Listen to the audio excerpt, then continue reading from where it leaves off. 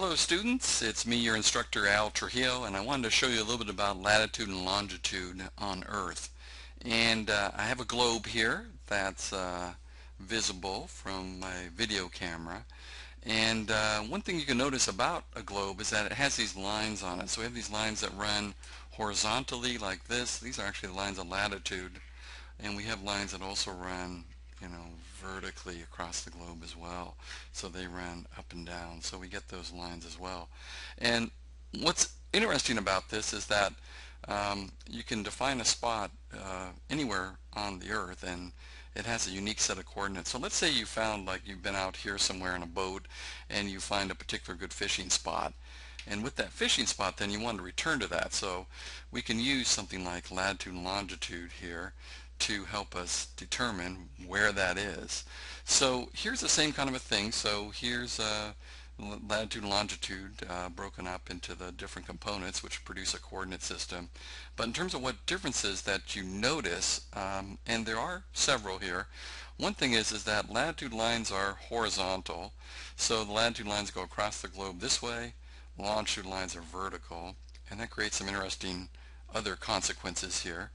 Uh, latitude lines are parallel to one another. Notice they're exactly parallel, but the longitude lines curve. They meet at actually two points, the north and the south poles. And then the third difference is that the longitude lines, they're all the same length. So for longitude, um, we could have picked any place as the zero or starting point. Uh, and we've all agreed as to what we're going to use for the world. Uh, but for latitude, there's a more uh, natural starting point. That would be the equator. So it's the longest line of latitude, and uh, then we get uh, lines of latitude then that are measured from the equator. For longitude, the zero degrees is what's called the prime or the Greenwich meridian, and it goes right through Greenwich, England, which is a suburb of London. Um, so, and you can actually visit that place if you'd like and stand right on the zero degrees longitude line. Let me also show you this. Here's a cutaway view of the Earth showing how latitude and longitude are really measured in angles. They're measured in degrees, uh, degrees of arc. So it's an angle. And it's using, for example, New Orleans. So for looking at latitude here, uh, and maybe just a little bit about um, uh, these angles here. So anytime you have two lines and uh, you know you can measure that angle in between it and uh, that angle is, is how we use uh, these measurements of latitude and longitude. If we have a different angle that has a larger angle between the two lines, uh, that differentiates them from a smaller angle.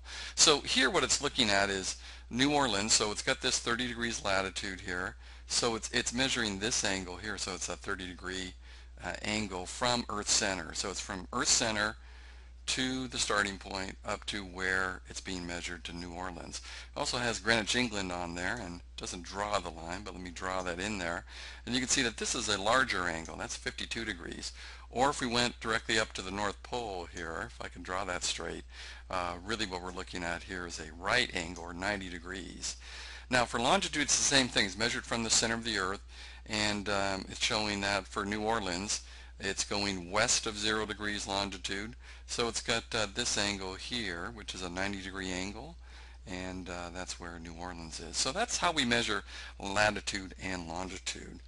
Now, on a typical marine chart, might look something like this. This is our um, typical marine chart for San Diego to Santa Rosa Island. And where are the latitude lines on here? So uh, where's the latitude scale on the chart? And where that is, it's over on the side. And this is what it looks like enlarged here. So there's the symbol for degrees, and then it's broken up into, each degree is broken up into 60 minutes actually. So one degree is equal to 60 minutes. So each minute here, um, so we, you know, it's actually quite far from 33 to 34 degrees. That would be about 60 not. That would be exactly 60 nautical miles. So the lines of latitude, it's measured north or south from the equator, but they go across the map like this. In fact, here's one I'm kind of sketching on. Here's another one that I'm sketching on here. And the lines of longitude, there'd be a similar scale, but they go, if I could draw these straight, uh, up and down on the map. So there'd be a similar scale down here, and that would be for longitude. So that's how latitude and longitude are, are measured and recorded on a chart.